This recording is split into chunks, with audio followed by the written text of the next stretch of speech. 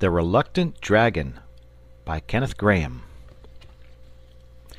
Long ago might have been hundreds of years ago in a cottage halfway between a little English village and the shoulder of the Downs, a shepherd lived with his wife and their little son. Now the shepherd spent his days, and at certain times of the year his nights too, up on the wide ocean bosom of the Downs, with only the sun and the stars and the sheep for company, and the friendly chattering world of men and women far out of sight and hearing. But his little son, when he wasn't helping his father, and often when he was as well, spent much of his time buried in big volumes that he borrowed from the affable gentry and interested parsons of the country round about. And his parents were very fond of him, and rather proud of him too, though they didn't let it on in his hearing. So he was left to go his own way and read as much as he liked, and instead of frequently getting a cuff on the side of the head, as might very well have happened to him, he was treated more or less as an equal by his parents, who sensibly thought it a very fair division of labour that they should supply the practical knowledge and he the book learning. They knew that book learning often came in useful at a pinch, in spite of what their neighbors said. What the boy chiefly dabbled in was natural history and fairy tales, and he just took them as they came, in a sandwichy sort of way, without making any distinctions, and really his course of reading strikes one as rather sensible. One evening the shepherd, who for some nights past had been disturbed and preoccupied, and off his usual mental balance, came home all of a tremble, and sitting down at the table where his wife and son were peacefully employed, she with her seam, he in following out the adventures of the giant with no heart in his body, exclaimed with much agitation, "It's all up with me, Maria! Never no more can I go up on them there downs, was it ever so!" "Now don't you take on like that," said his wife, who was a very sensible woman, "but tell us all about it first, whatever it is as has given you this shake up, and then me and you and the son here, between us, we ought to be able to get to the bottom of it." "It began some nights ago," said the shepherd. "You know that cave up there. I never liked it, somehow, and the sheep never liked it neither. And when sheep don't like a thing there's generally some reason for it. Well, for some time past there's been faint noises coming from that cave noises like heavy sighings, with grunts mixed up in them, and sometimes a snoring, far away down real snoring yet somehow not honest snoring like you and me o' nights, you know." "I know," remarked the Boy, quietly. "Of course I was terrible frightened," the shepherd went on, "yet somehow I couldn't keep away. So this very evening, before I come down, I took a cast round by the cave quietly. And there oh, Lord, there I saw him at last, as plain as I see you!" "Saw who?" said his wife, beginning to share in her husband's nervous terror. "Why, him, I'm a telling you," said the shepherd. "He was halfway sticking out of the cave, and seemed to be enjoying of the cool of the evening in a poetical sort of way. He was as big as four cart horses, and all covered with shiny scales, deep blue scales at the top of him, shading off to a tender sort of green below. As he breathed there was that sort of flicker over his nostrils that you see over our chalk roads on a baking windless day in summer. He had his chin on his paws, and I should say he was meditating about things. Oh, yes, a peaceable sort of beast enough, and not ramping or carrying on or doing anything but what was quite right and proper. I admit all that. And yet what am I to do? Scales, you know, and, and claws, and a tail for certain, though I didn't see that end of him. I ain't used to 'em, and I don't hold with 'em, and that's a fact." The Boy, who had apparently been absorbed in his book during his father's recital, now closed the volume, yawned, clasped his hands behind his head, and said sleepily, "It's all right, father. Don't you worry. It's only a dragon. Only a dragon!" cried his father. "What do you mean, sitting there, you and your dragons? Only a dragon, indeed! And what do you know about it?" "'Cause it is, and 'cause I do know," replied the Boy quietly. "Look here, father. You know we've each of us got our line. You know about sheep, and weather, and things.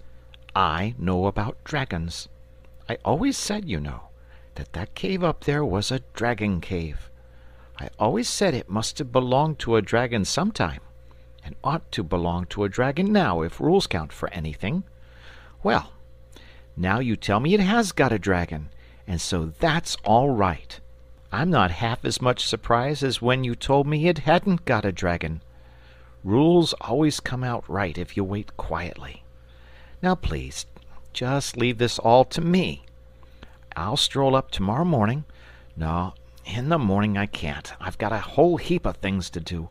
Well, perhaps in the evening, if I'm quite free, I'll go up and have a talk with him, and you'll find it'll be all right. Only please, don't you go worrying round there without me. You don't understand 'em a bit, and they're very sensitive, you know." "He's quite right, father," said the sensible mother. "As he says, dragons is his line and not ours. He's wonderful knowing about book beasts, as every one allows. And to tell the truth, I'm not half happy in my own mind, thinking of that poor animal lying alone up there without a bit of hot supper or any one to change the news with. And maybe we'll be able to do something for him. And if he ain't quite respectable, our boy'll find it out quick enough. He's got a pleasant sort of way with him that makes everybody tell him everything. Next day, after he'd had his tea, the boy strolled up the chalky track that led to the summit of the downs, and there, sure enough, he found the dragon, stretched lazily on the sward in front of his cave. The view from that point was a magnificent one. To the right and left, the bare and billowy leagues of downs.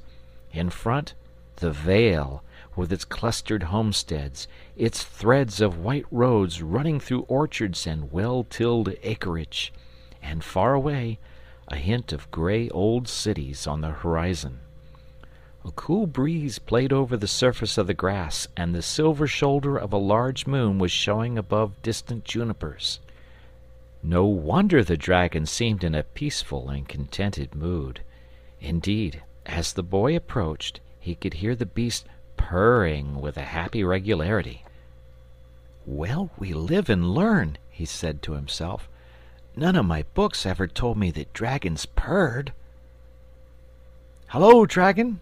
Said the boy quietly, when he had got up to him. The dragon, on hearing the approaching footsteps, made the beginning of a courteous effort to rise, but when he saw it was a boy, he set his eyebrows severely. "Now, don't you hit me," he said, "or bung stones, or squirt water or anything. I won't have it, I tell you." "Not going to hit you," said the boy wearily, dropping on the grass beside the beast. And don't, for goodness sake, keep on saying don't. I hear so much of it, and it's monotonous. It makes me tired. I've simply looked in to ask how you were, and all that sort of thing. But if I'm in the way, I can easily clear out. I've lots of friends, and no one can say I'm in the habit of shoving myself in where I'm not wanted. No, no, don't go off in a huff, said the dragon hastily. Fact is, I'm as happy up here as the day's long. Never without an occupation, dear fellow, never without an occupation. And yet, between ourselves, it is a trifle dull at times. The boy bit off a stalk of grass and chewed it. Going to make a long stay here? he asked politely. Can't hardly say at present, replied the dragon. It seems a nice enough place, but I've only been here a short time, and one must look about and reflect and consider before settling down. It's rather a serious thing, settling down. Besides, now I'm going to tell you something. You'd never guess it if you tried ever so. Fact is, I'm such a confoundedly lazy beggar. You surprise me, said the boy, civilly. It's the sad truth, the dragon went on, settling down between his paws and evidently delighted to have found a listener at last. And I fancy that's really how I came to be here. You see, all the other fellows were so active and earnest and all that kind of thing. Always rampaging and skirmishing and scouring the desert sands and pacing the margin of the sea and chasing knights all over the place and devouring damsels and going on generally. Whereas I like to get my meals regular and then to prop my back against a bit of rock and snooze a bit and wake up and think of things going on and how they kept going on just the same, you know. So when it happened, I got fairly caught. When what happened, please? asked the boy. That's just what I don't precisely know, said the dragon. I suppose the earth sneezed or shook itself, or the bottom dropped out of something. Anyhow, there was a shake and a roar and a general stramash, and I found myself miles away underground and wedged in as tight as tight. Well, thank goodness, my wants are few, and at any rate I had peace and quietness and wasn't always being asked to come along and do something. And I've got such an active mind always occupied, I assure you. But time went on. There was a certain sameness about the life, and at last I began to think it would be fun to work my way upstairs and see what you other fellows were doing. So I scratched and burrowed, and worked this way and that way, and at last I came out through this cave here. And I like the country, and the view, and the people, what I've seen of 'em, and on the whole I feel inclined to settle down here. What's your mind always occupied about? asked the boy. That's what I want to know. The dragon colored slightly and looked away. Presently he said bashfully, Did you ever, uh, just for fun, try to make up poetry? Verses, you know? Course I have, said the boy. Heaps of it. And some of it's quite good, I feel sure, only there's no one here cares about it.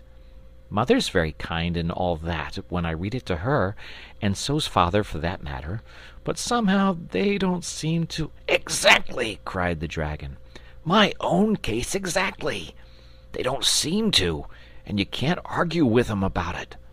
Now you've got culture, you have. I could tell it on you at once and I should just like your candid opinion about some little things I threw off lightly when I was down there. I'm awfully pleased to have met you, and I'm hoping the other neighbors will be equally agreeable. There was a very nice old gentleman up here only last night, but he didn't seem to want to intrude. That was my father, said the boy, and he is a nice old gentleman, and I'll introduce you some day if you like. Can't you two come up here and dine or something tomorrow? asked the dragon eagerly. Only, of course, if you've got nothing better to do, he added politely. Thanks awfully, said the boy, but we don't go out anywhere without my mother, and, to tell you the truth, I'm afraid she mightn't quite approve of you. You see, there's no getting over the hard fact that you're a dragon, is there? And when you talk of settling down, and the neighbors, and so on, I can't help feeling that you don't quite realize your position. You're an enemy of the human race, you see. Haven't got an enemy in the world, said the dragon cheerfully. Too lazy to make 'em to begin with. And if I do read other fellows my poetry, I'm always ready to listen to theirs. Oh, dear, cried the boy. I wish you'd try and grasp the situation properly. When the other people find you out, they'll come after you with spears and swords and all sorts of things. You'll have to be exterminated, according to their way of looking at it.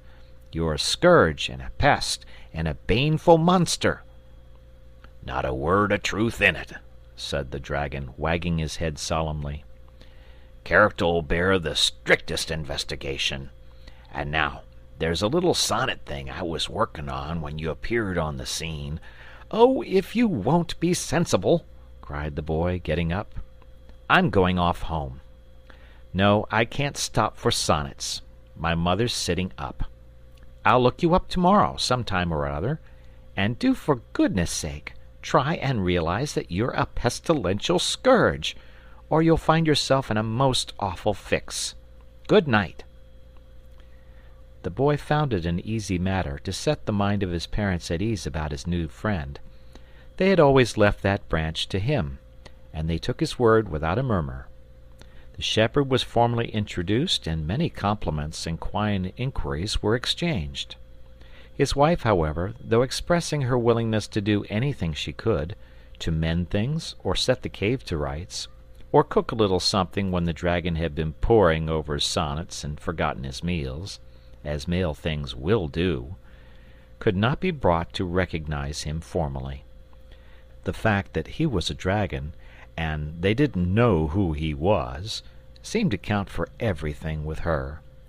She made no objection, however, to her little son spending his evenings with the dragon quietly, so long as he was home by nine o'clock, and many a pleasant night they had, sitting on the sward, while the dragon told stories of old, old times, when dragons were quite plentiful, and the world was a livelier place than it is now and life was full of thrills and jumps and surprises. What the boy had feared, however, soon came to pass.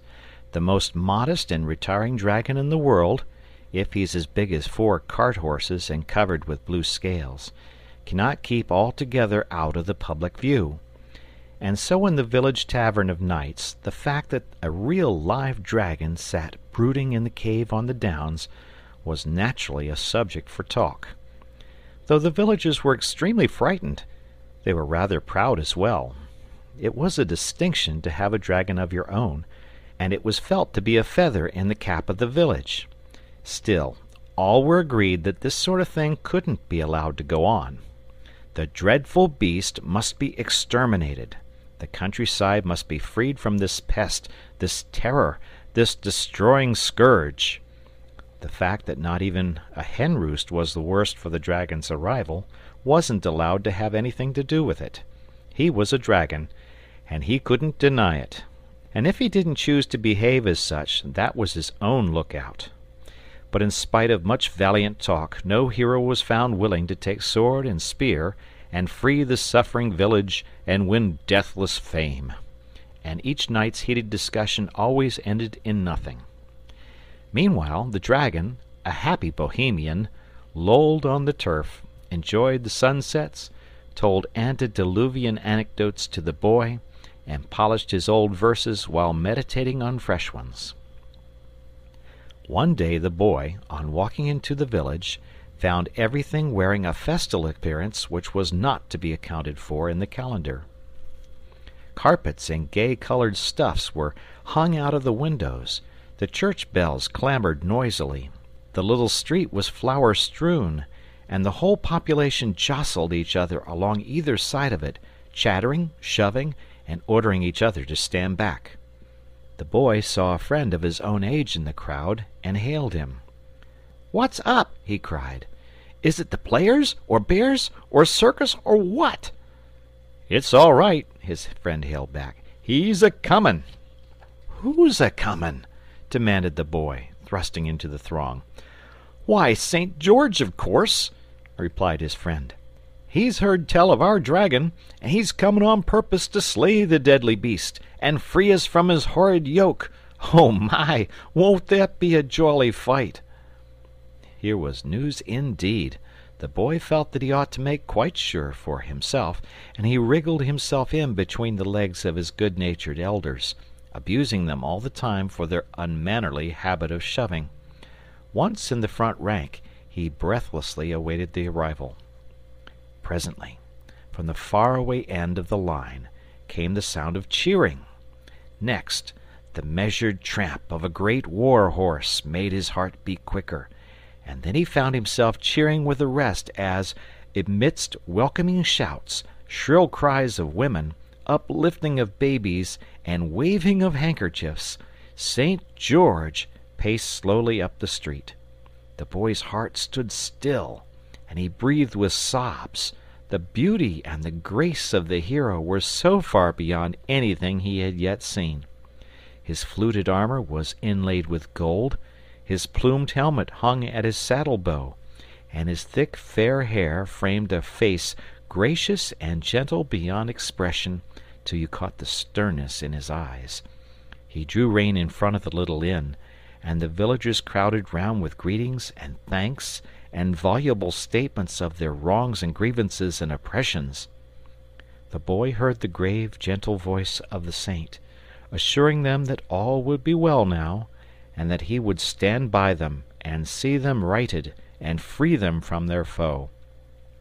Then he dismounted, and passed through the doorway, and the crowd poured in after him. But the Boy made off up the hill as fast as he could lay his legs to the ground. "It's all up, dragon!" he shouted as soon as he was within sight of the beast. "He's coming! He's here now! You'll have to pull yourself together and do something at last." The dragon was licking his scales and rubbing them with a bit of house flannel the Boy's mother had lent him, till he shone like a great turquoise. "Don't be violent, Boy," he said without looking around. "Sit down and get your breath and try and remember that the noun governs the verb, and then perhaps you'll be good enough to tell me who's coming." "That's right. Take it coolly," said the Boy. "Hope you'll be half as cool when I've got through with my news. It's only St. George who's coming, that's all. He rode into the village half an hour ago. Of course you can lick him, a great big fellow like you, but I thought I'd warn you, 'cause he's sure to be round early and he's got the longest, wickedest looking spear you ever did see." And the Boy got up and began to jump round in sheer delight at the prospect of the battle. "Oh, dearie, dearie me!" moaned the dragon. "This is too awful. I won't see him, and that's flat. I don't want to know the fellow at all. I'm sure he's not nice. You must tell him to go away at once, please. Say he can write if he likes, but I can't give him an interview. I'm not seeing anybody at present." "Now, dragon, dragon," said the Boy, imploringly, "don't be perverse and wrong headed. You've got to fight him some time or other, you know, 'cause he's St. George and you're the dragon. Better get it over, and then we can go on with the sonnets. And you ought to consider other people a little, too. If it's been dull up here for you. Think how dull it's been for me." "My dear little man," said the dragon solemnly, "just understand once for all that I can't fight, and I won't fight. I've never fought in my life, and I'm not going to begin now just to give you a Roman holiday. In old days I always let the other fellows the earnest fellows do all the fighting, and no doubt that's why I have the pleasure of being here now." "But if you don't fight he'll cut your head off," gasped the Boy, miserable at the prospect of losing both the fight and his friend. "Oh, I think not," said the dragon in his lazy way. "You'll be able to arrange something. I've every confidence in you. You're such a manager. Just run down, there's a dear chap, and make it all right. I leave it entirely to you." The Boy made his way back to the village in a state of great despondency. First of all, there wasn't going to be any fight. Next, his dear and honored friend the dragon hadn't shown up in quite such a heroic light as he would have liked. And lastly, whether the dragon was a hero at heart or not. It made no difference, for St. George would most undoubtedly cut his head off. "Arrange things, indeed!" he said bitterly to himself. "The dragon treats the whole affair as if it were an invitation to tea and croquet." The villagers were straggling homewards as he passed up the street, all of them in the highest spirits, and gleefully discussing the splendid fight that was in store. The Boy pursued his way to the inn, and passed into the principal chamber, where St. George now sat alone, musing over the chances of the fight, and the sad stories of rapine and of wrong that had so lately been poured into his sympathetic ears. "May I come in, St. George?" Said the Boy politely, as he paused at the door. "I want to talk to you about this little matter of the dragon, if you're not tired of it by this time." "Yes, come in, Boy," said the Saint kindly. "Another tale of misery and wrong, I fear me. Is it a kind parent, then, of whom the tyrant has bereft you, or some tender sister or brother? Well, it shall soon be avenged." "Nothing of the sort," said the Boy. "There's a misunderstanding somewhere, and I want to put it right. The fact is, this is a good dragon." "Exactly said St. George, smiling pleasantly. "I quite understand. A good dragon! Believe me, I do not in the least regret that he is an adversary worthy of my steel, and no feeble specimen of his noxious tribe." "But he's not a noxious tribe!" cried the Boy distressedly. "Oh dear, oh dear, how stupid men are when they get an idea into their heads!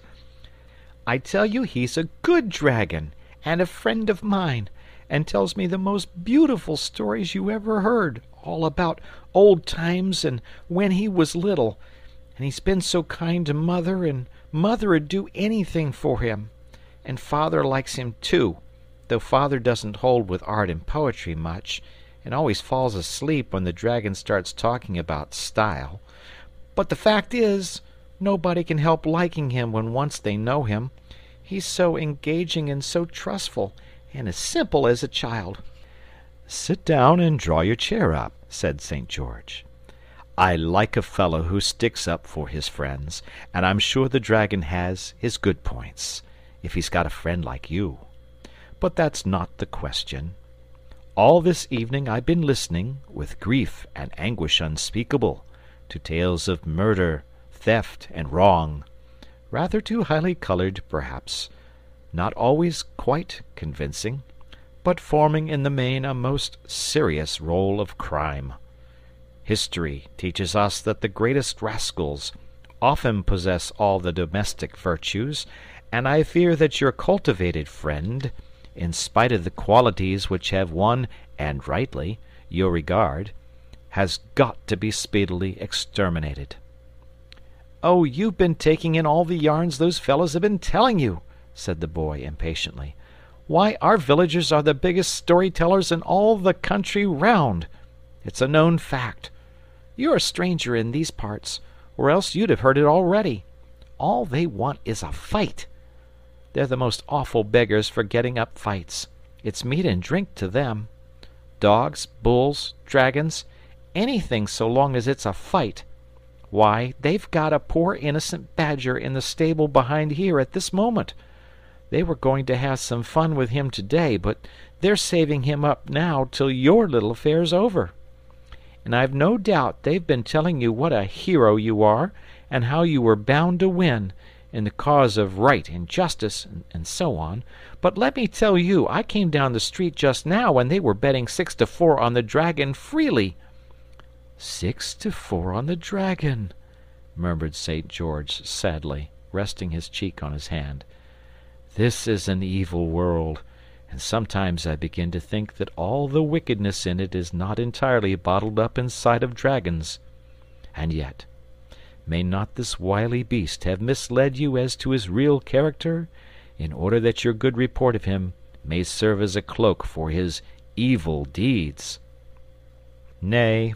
May there not be, at this very moment, some hapless princess immured within yonder gloomy cavern?" The moment he had spoken, St. George was sorry for what he had said. The Boy looked so genuinely distressed. "I assure you, St. George," he said earnestly, "there's nothing of the sort in the cave at all.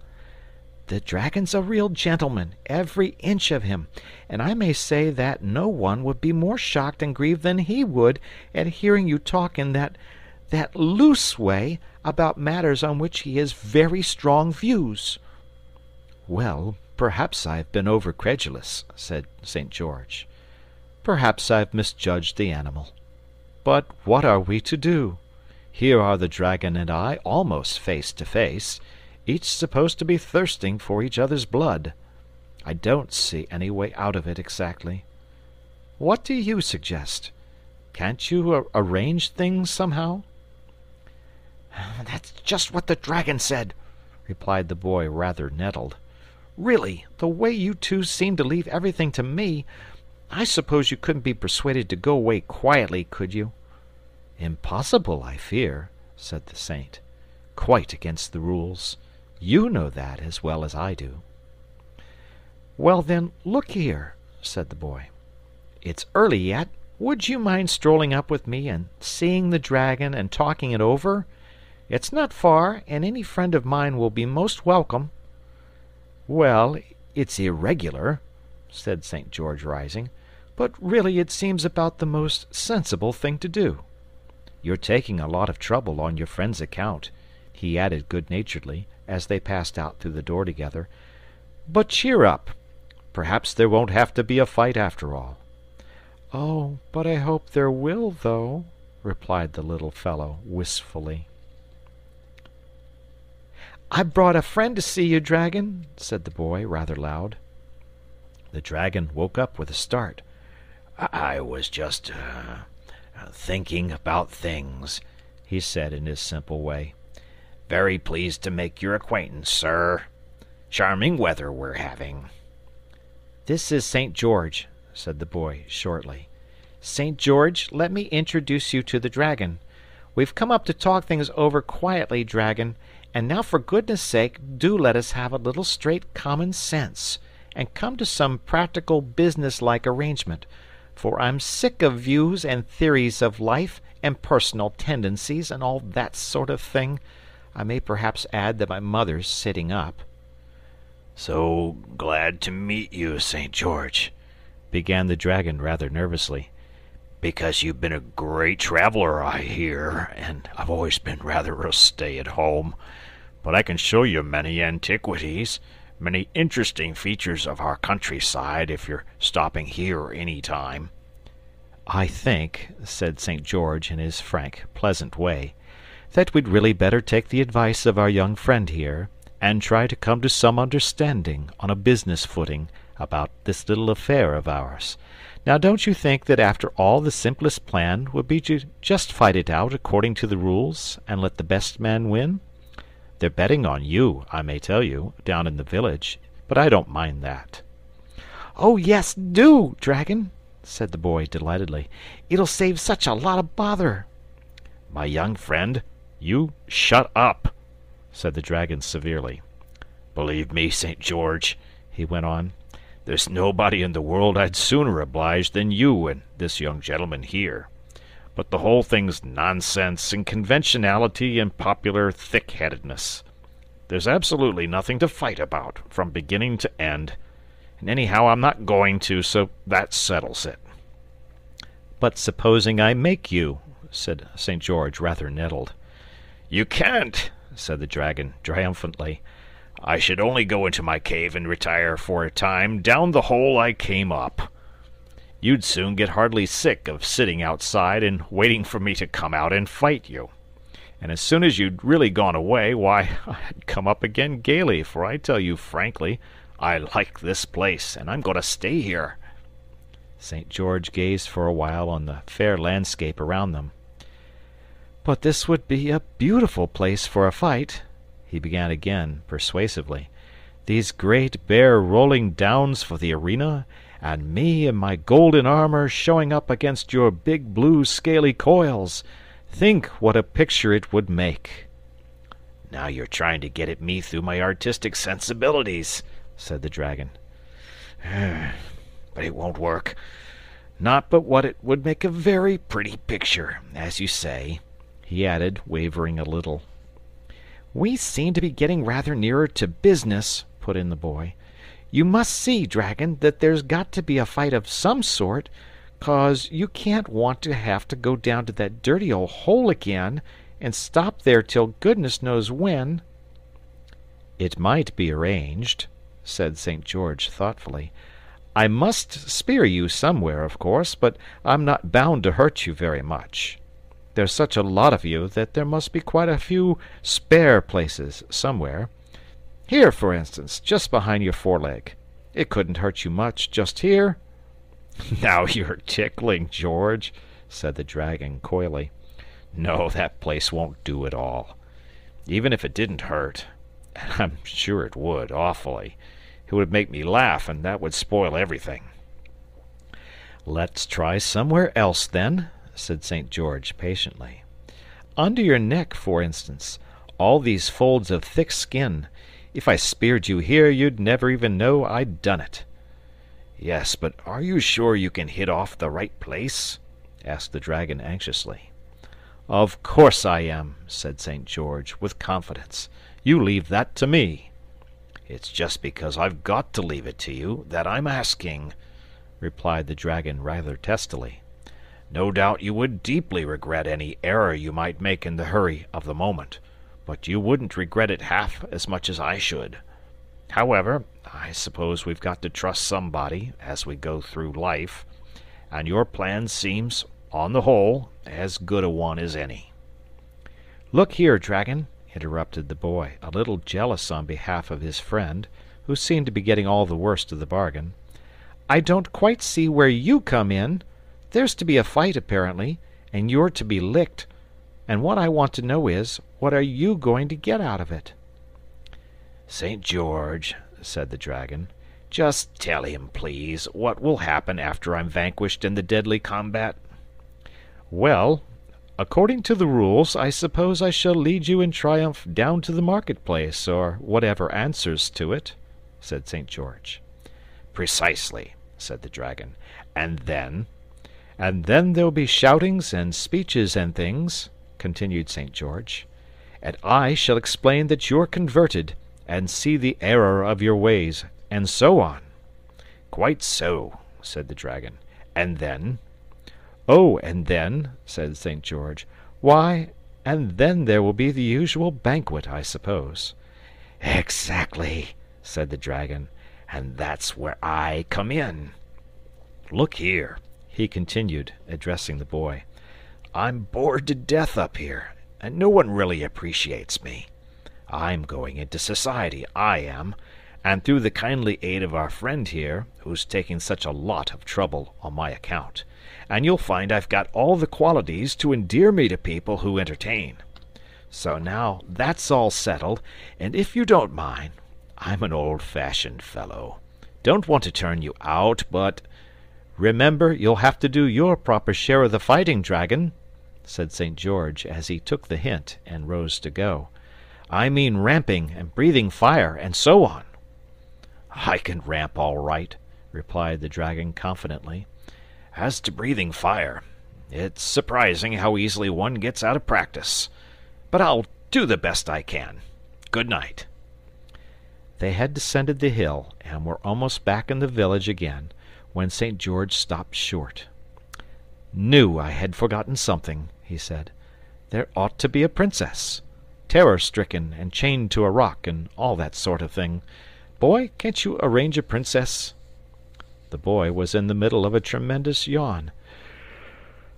"I'm tired to death," he wailed, "and I can't arrange a Princess, or anything more, at this time of night. And my mother's sitting up, and do stop asking me to arrange more things till tomorrow." Next morning the people began streaming up to the Downs at quite an early hour, in their Sunday clothes and carrying baskets with bottle necks sticking out of them every one intent on securing good places for the combat. This was not exactly a simple matter, for of course it was quite possible that the dragon might win, and in that case even those who had put their money on him felt they could hardly expect him to deal with his backers on a different footing to the rest. Places were chosen, therefore, with circumspection and with a view to a speedy retreat in case of emergency and the front rank was mostly composed of boys who had escaped from parental control and now sprawled and rolled about on the grass, regardless of the shrill threats and warnings discharged at them by their anxious mothers behind. The Boy had secured a good front place, well up towards the cave, and was feeling as anxious as a stage manager on first night. Could the dragon be depended upon? He might change his mind and vote the whole performance rot; or else, seeing that the affair had been so hastily planned, without even a rehearsal, he might be too nervous to show up. The Boy looked narrowly at the cave, but it showed no sign of life or occupation. Could the dragon have made a moonlight flitting? The higher portions of the ground were now black with sightseers, and presently a sound of cheering and a waving of handkerchiefs told that something was visible to them which the Boy, far up towards the dragon end of the line as he was, could not yet see. A minute more, and St. George's red plumes topped the hill, as the Saint rode slowly forth on the great level space which stretched up to the grim mouth of the cave. Very gallant and beautiful he looked, on his tall war horse, his golden armor glancing in the sun, his great spear held erect, the little white pennon crimson crossed fluttering at its point. He drew rein and remained motionless. The lines of spectators began to give back a little, nervously and even the boys in front stopped pulling hair and cuffing each other, and leaned forward expectant. "Now then, dragon," muttered the Boy impatiently, fidgeting where he sat. He need not have distressed himself had he only known.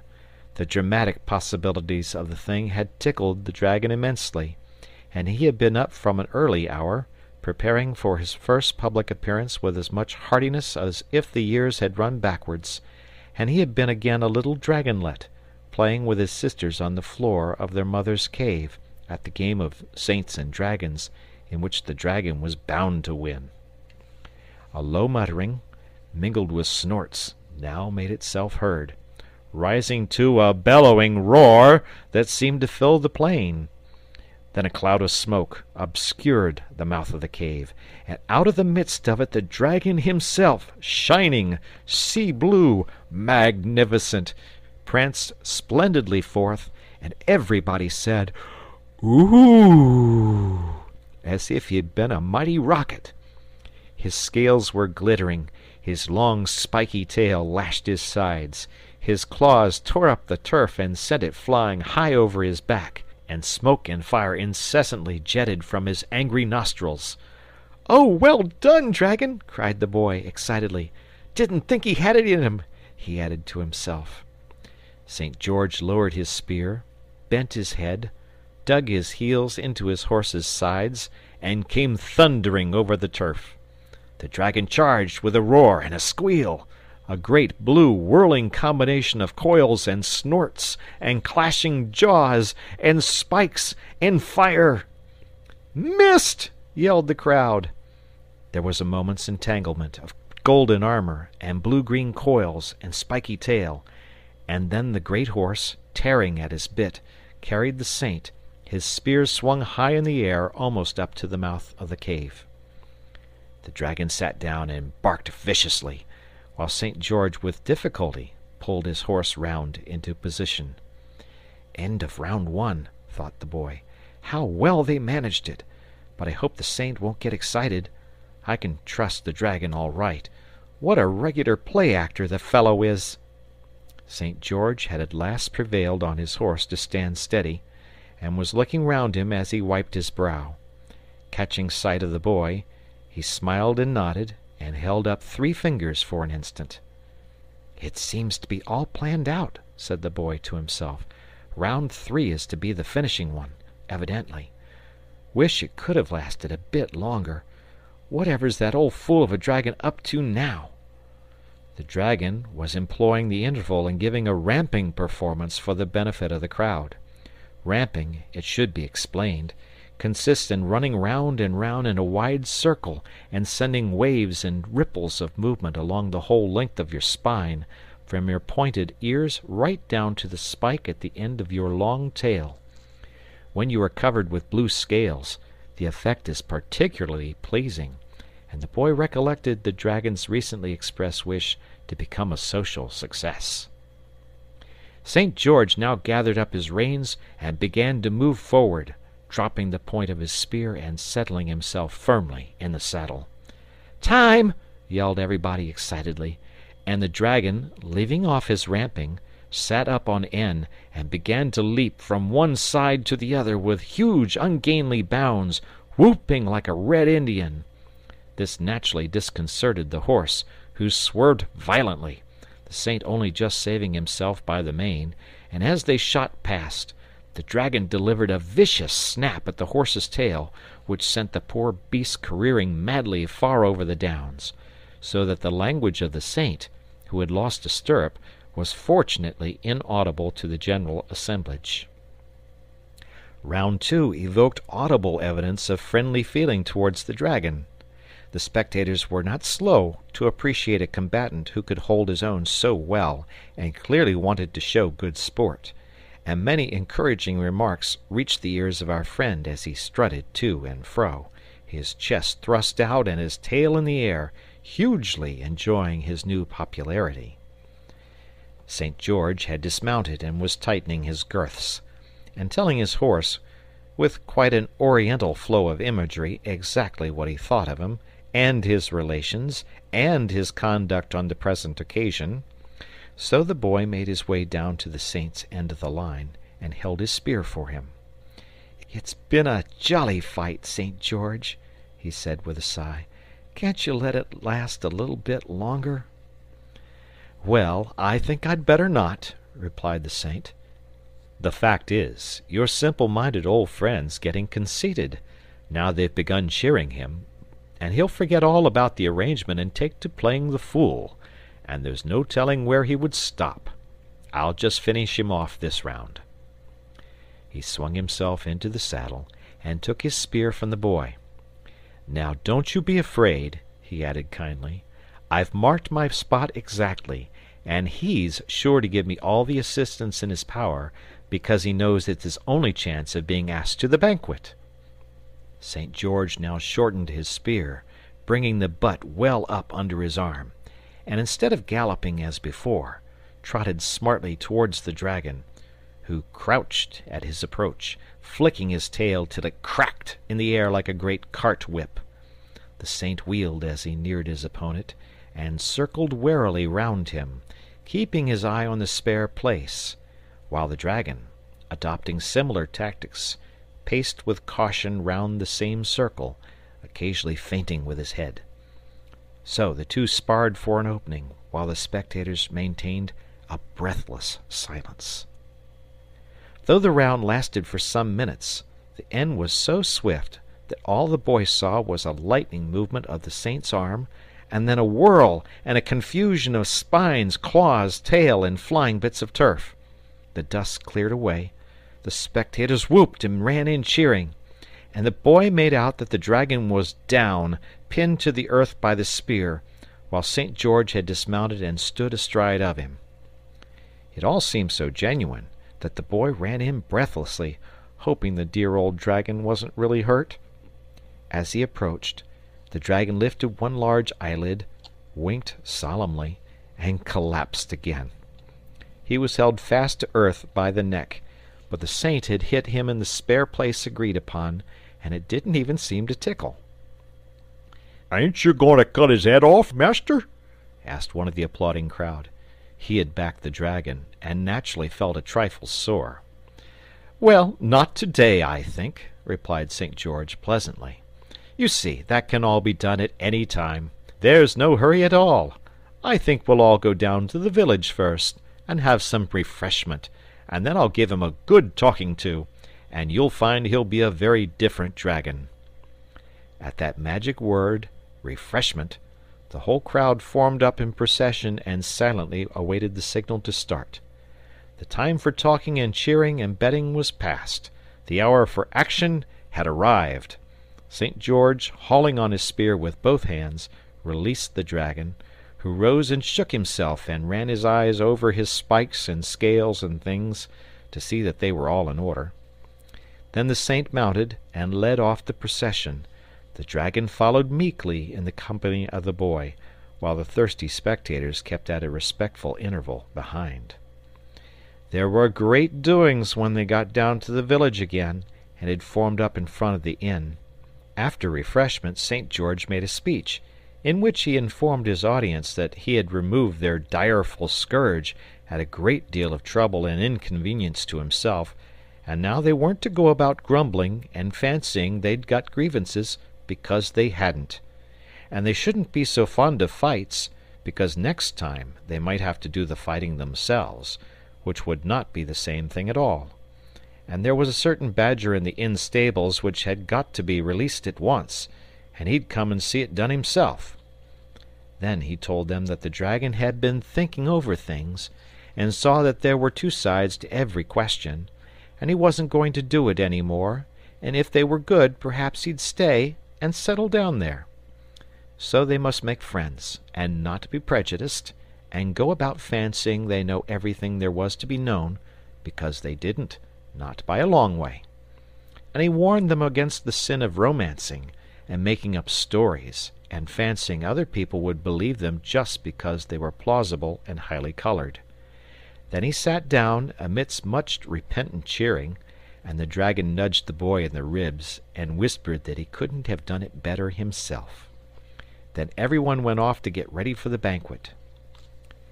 Banquets are always pleasant things, consisting mostly, as they do, of eating and drinking. But the specially nice thing about a banquet is, that it comes when something's over, and there's nothing more to worry about, and tomorrow seems a long way off. St. George was happy, because there had been a fight and he hadn't had to kill anybody, for he didn't really like killing, though he generally had to do it. The dragon was happy because there had been a fight and so far from being hurt in it he had won popularity and a sure footing in society. The boy was happy because there had been a fight, and in spite of it all his two friends were on the best of terms. And all the others were happy because there had been a fight, and, well, they didn't require any other reasons for their happiness. The dragon exerted himself to say the right thing to everybody, and prove the life and soul of the evening while the Saint and the Boy, as they looked on, felt that they were only assisting at a feast of which the honour and the glory were entirely the dragon's. But they didn't mind that, being good fellows, and the dragon was not in the least proud or forgetful. On the contrary, every ten minutes or so he leant over toward the Boy and said impressively, "Look here, you will see me home afterwards, won't you?" And the Boy always nodded though he had promised his mother not to be out late. At last the banquet was over. The guests had dropped away with many good nights and congratulations and invitations, and the dragon, who had seen the last of them off the premises, emerged into the street followed by the boy, wiped his brow, sighed, sat down in the road and gazed at the stars. "Jolly night it's been," he murmured. Jolly stars! Jolly little place this. Think I shall just stop here. Don't feel like climbing up any beastly hill. Boy's promised to see me home. Boy had better do it then. No responsibility on my part. Responsibility all a boy's. And his chin sank on his broad chest, and he slumbered peacefully. Oh, get up, dragon! cried the boy piteously. You know my mother's sitting up, and I'm so tired, and you made me promise to see you home, and I never knew what it meant or I wouldn't have done it. And the boy sat down in the road by the side of the sleeping dragon and cried.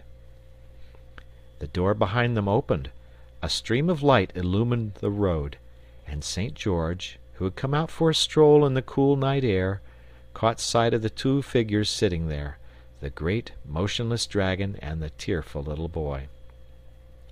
"What's the matter, boy?" he inquired kindly, stepping to his side. "Oh, it's this great lumbering pig of a dragon!" sobbed the boy. "First he makes me promise to see him home, and then he says I'd better do it, and he goes to sleep. Might as well try to see a haystack home. And I'm so tired, and mother's Here he broke down again. "Now, don't take on," said St. George.